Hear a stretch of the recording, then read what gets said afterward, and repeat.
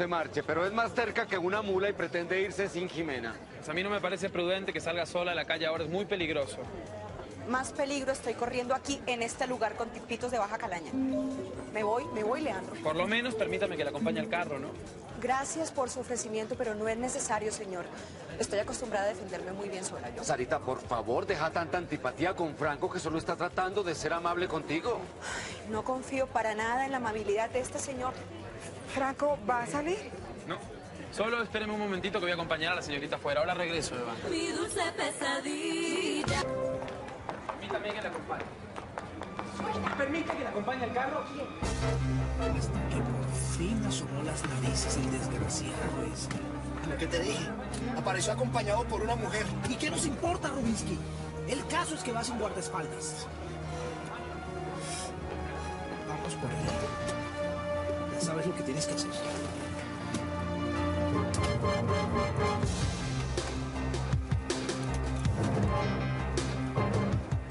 Suélteme, suélteme ya suficiente tengo con su tormentosa compañía, Franco. ¿Dónde está su carro? No sé. Más adelante.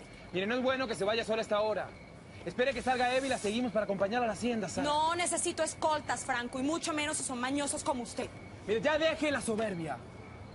Vamos por el mismo camino. Yo no vivo de miedos. Y además estoy acostumbrada a manejar sola.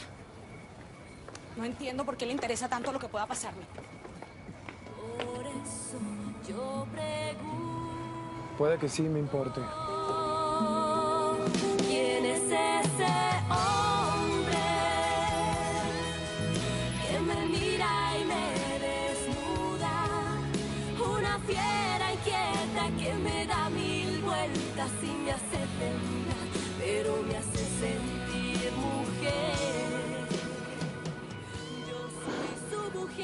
qué lo hace?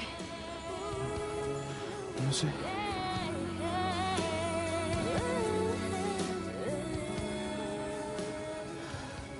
Si no lo sabe,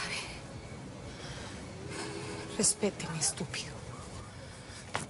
Ay, ay, ay, ay. Debí tomar más de la cuenta. Ni crea que lo hice en sano juicio. ¿Cuántas veces te lo dije? Que este gran dolor de mi alma, un mal chiste lo volviste.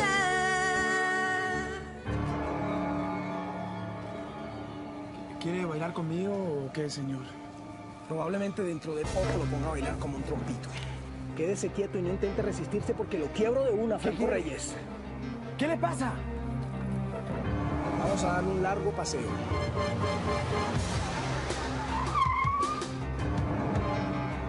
¿Se puede saber qué quiere? Voltéese. ¡Vamos!